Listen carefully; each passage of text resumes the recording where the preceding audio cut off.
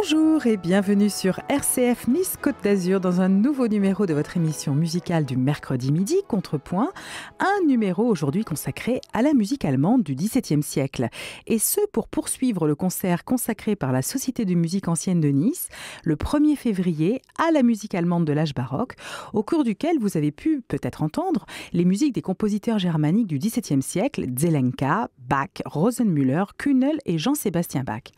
Un concert avec Michel Giraud contre-ténor, Flavio Losco violon, Sybille Schwenz et Étienne Mango viol de gambe et Michaela Chetrit à l'orgue, qui me donne l'occasion de vous présenter cette musique allemande baroque si peu connue et qui réserve bien des chefs-d'œuvre. Quand je parle ici de musique allemande, je veux signifier bien sûr les compositeurs allemands et autrichiens du XVIIe et XVIIIe siècle, ces héritiers d'une longue tradition musicale dont les premières traces écrites sont celles des Minnesänger, ces troubadours de langue germanique, tels Hildegard von Bingen, la plus célèbre d'entre eux, qui introduiront la lyrique courtoise en terre du Nord, puis, avec von Meissen et Sachs, et dès le XIVe siècle, la polyphonie de la Renaissance.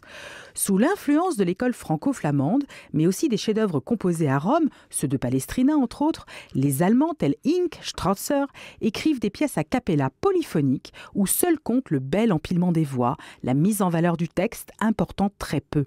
Avec la réforme et la traduction des textes saints en langue allemande, puis la volonté de faire chanter à tous les fidèles les parties les plus importantes des offices, contrairement aux catholiques qui confient ces chants aux professionnels des chapelles, les compositeurs allemands réformés comme Walter écrivent à l'imitation de Luther le patrimoine extraordinaire des chorales, car il est très difficile de composer de la musique simple. Bientôt introduit ce patrimoine de chorale dans la musique d'orgue par Schlick, Hammerbach, école allemande d'orgue représenté au XVIIe siècle par Buxtehude, le maître tant admiré de Bach et de Pachelbel. Avec les Praetorius, c'est toute la musique instrumentale qui prend son essor dans l'Allemagne de la Renaissance, et ce grâce aux éditeurs de musique devenus très nombreux et qui permettent de pratiquer la musique chez soi, en chambre, voire sur des petits orgues placés dans la salle commune de la maison et autour desquels on aime à se réunir. Voici donc de Pachelbel une toccata en do majeur sur un orgue allemand historique de 1677.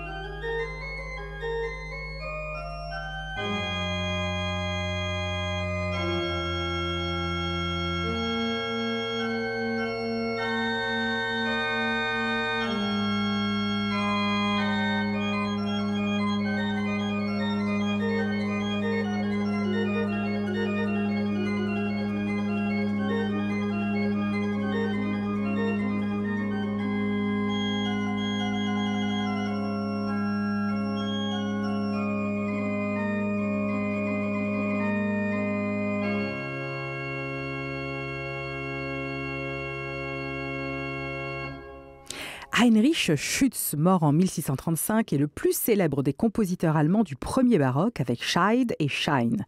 Ayant eu l'opportunité d'étudier la musique à Venise auprès de Gabrielli puis de Monteverdi, il en restera profondément marqué et introduit les italianismes dans une musique allemande où il peut composer sur des textes en langue vernaculaire sans obligation d'utiliser le latin.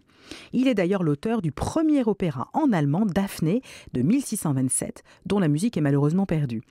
Parmi les éléments musicaux italiens qui l'ont le plus marqué, c'est la technique polychorale qui apparaît le plus souvent dans ses compositions. Une manière d'écrire pour des chœurs divisés en groupes et éparpillés dans l'église qui vont se répondre et jouer en écho. Surnommé l'Orphée de Dresde, il reste celui qui, comme Monteverdi en Italie, a fait passer la musique allemande de l'ancienne manière d'écrire, la manière polyphonique, à la manière moderne, celle de l'âge baroque, qu'on retrouvera dans ses passions et ses Sinfoniae Sacrae, imitées de celles de Gabrielli, qu'il avait tant marqué lors de son séjour vénitien. Son psaume en allemand, Die daté de 1619, est bien représentatif de sa manière de composer.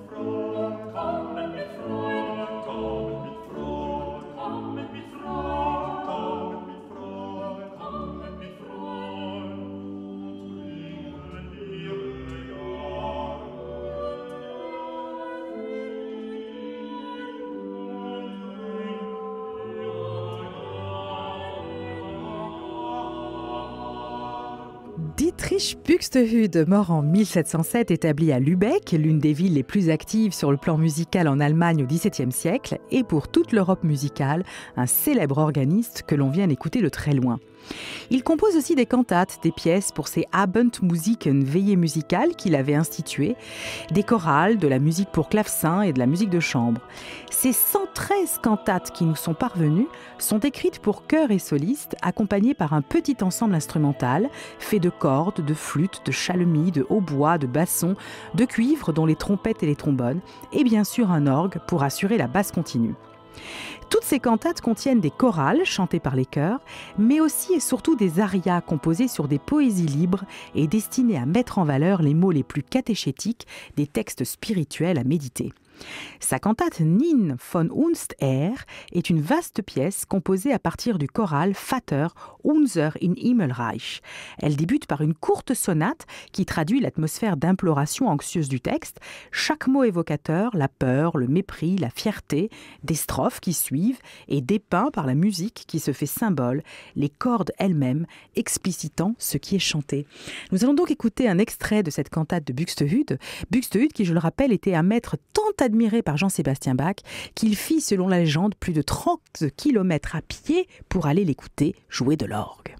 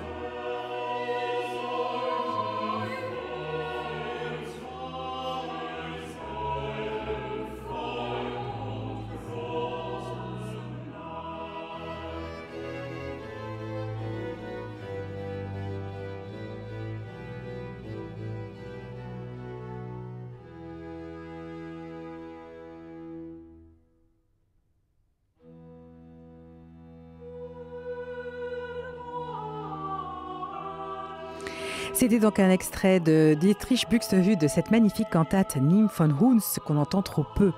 Passons maintenant à Heinrich Ignaz Bieber, mort en 1704, compositeur autrichien mort à Salzbourg en 1704, qui reçoit sa formation musicale de Schmelzer. Brillant violoniste, il développe dans son œuvre des techniques si virtuoses qu'elles ne seront employées à nouveau que par Paganini au XIXe siècle. Les doubles et triples cordes n'ont pas de secret pour lui, et il utilise la septième position que seul Aurélie employée tant elle était considérée comme impossible à bien exécuter. Antérieure à 1687, ces Mysterion Sonaten, ou sonates de mystère pour violon seul et basse continue, étaient destinées à être entendues devant les peintures représentant les différentes stations du rosaire dont on lisait les textes en tout premier lieu, puis venait un court sermon commenté par une sonate de Bieber correspondant au texte à méditer, comme l'Annonciation, la visite d'Élisabeth, la crucifixion ou l'Assomption. Cette dévotion mariale au rosaire, développée par les jésuites après la contre-réforme, permet de méditer sur les 15 mystères de la Vierge, soit les grands épisodes de la vie de Jésus auxquels on associe sa mère. La méditation se fait chez Bieber avec une musique rhétorique qui peint chaque détail de la scène à réfléchir, comme dans cette première sonate que nous allons écouter, l'Annonciation, où l'on voit clairement l'ange descendre dans un tourbillon de volutes, s'adresser à Marie, dialoguer avec elle et la convaincre d'accepter l'impensable.